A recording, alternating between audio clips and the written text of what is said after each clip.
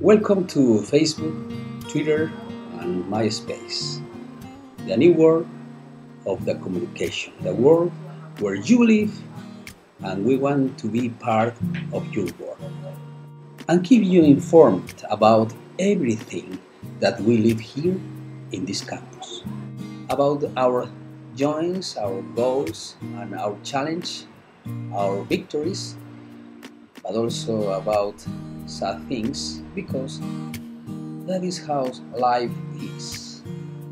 And this is how our UPeU is for some of you, the Union Academy, the life in the Union Peruvian University.